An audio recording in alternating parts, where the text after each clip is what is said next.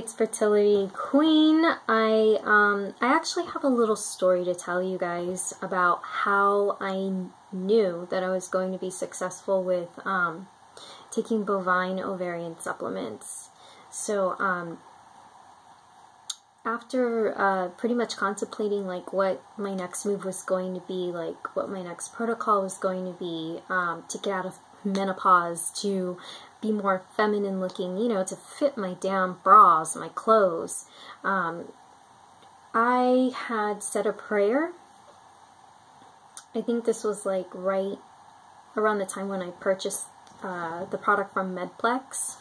I uh, prayed to, to Christ. Literally, I asked Christ, I, I asked him, I said, if, if this works, if this works, like I believe that it can, um, I will, as my thank you, as my giving back, I will let um, every everyone know that I can, and I will help um, any woman who asks me about, um, you know, how how to grow their breasts or how to, um, yeah, how to grow their breasts. Jeez.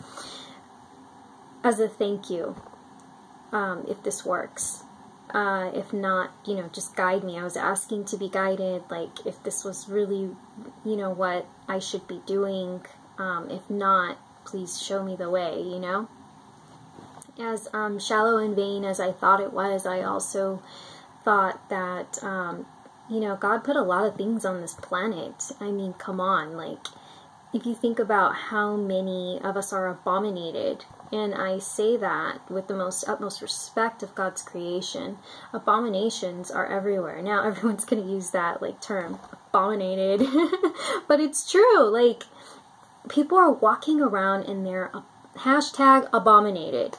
Um, whether it was in the womb, whether it was radiation around the planet when they were born, um, growing and changing, and things have made them franken genetics.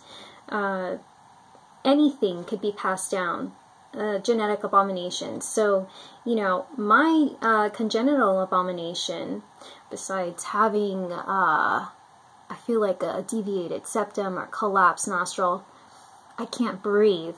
I cannot breathe there's something going on. I have some funky mask puppiness. Anyways, another fucking video. Abominations are everywhere. Some you can get rid of, some you can alter, some you just cannot change. So, understanding that and understanding um, God's ideal for, for human beings. You know, a woman should be a woman, a man should be a man. Um, we should be able to grow and thrive and pass these genetics um, healthy genetics down to our offspring. And we live in a world today where it's not like that. You know, now people are becoming, you know, to the point where they they can't even live. Like neurologically, they cannot function. Anyway, so okay, I just knew that it wasn't that shallow of me to ask, in that vein of me to ask, because I was not getting my cycle. I was entering uh, menopause at 29. Everything was dead down south. Um, I, I just was going through so much uh, hormonal turmoil. Could not sleep. Um, and then when I could sleep, it was still messed up. So, okay, I said my prayer. I went all out, put it to rest bought the stuff and I decided, okay, let it brew, right? We're brewing it, getting this body ready because we know my absorption is shitty. So when that point in time came for me to take my um, bovine ovarian tincture, yeah, somewhere nine months later, I think it was that first week when I was actually like starting to take it, you know, I was dropping everything and like under my tongue and swishing it around my mouth with a little bit of like protein or water. I took a nap. I was just, I was tired. You know, I think I did like, I came off of a juice feast or some kind of cleanse, probably my last liver flush or something. I took a nap and I had this out of body. Okay, this is the ghost story. Um, and I may um, leave the link for my other channel uh, for all the other worldly subjects, subject matter, but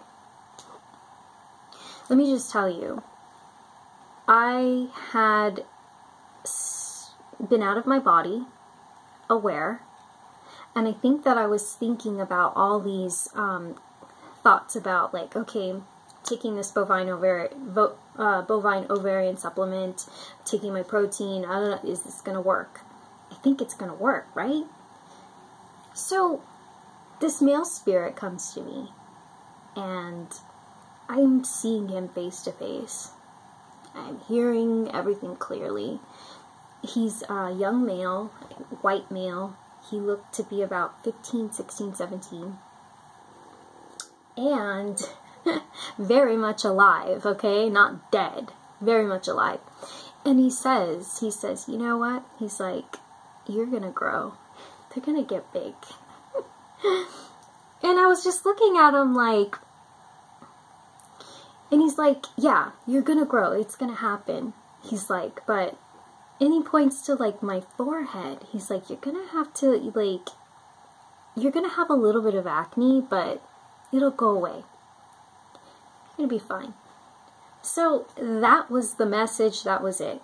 I woke up and I thought to myself, well, I don't know who this male entity was because, you know, I have spirit friends and loads of spirit enemies. But, um, anyways, I didn't know who this, this young man was. He seemed pretty nice. He seemed pretty friendly. Um, he didn't abuse me in any way. Uh, but anyways, delivered the message and I um, woke up and I thought to myself, I think this is gonna work. Like, I'm stoked. I'm not giving up. I'm gonna do everything Anastasia said. You gotta, you gotta pump, pump, pump. Not give up. Be consistent with your like intake of supplements, like protein and whatever else you're taking, and you know, just give it time and be patient. You're not like trying to win a fucking race. This is your body. This takes time. Remember, like, puberty takes seven years, even longer. Like, I, I was still having, like, some puberty moments, like, in my early 20s. So, that's how I knew I was going to grow. I just had that strong feeling. And he was right. Three and a half months, and they, they were growing. And yes, the acne did happen. I had a little bit of acne here and here. And this is actually a common thing. You're just, it's probably the, um, the hormones just getting, you know, passed around in your, through your liver into your body. It comes out, detox, whatever you want to call it it's just something temporary that's going to happen. So, um, that's my little uh, ghost story or uh, natural breast enhancement. And uh, I got plenty of other stories regarding just because of me doing this protocol, having a lot of spiritual entity interaction that was actually quite negative. Um, and I never spoke about it, and I may start speaking about it in my other channel. But, um, yeah, so, alright, I guess that's it for now.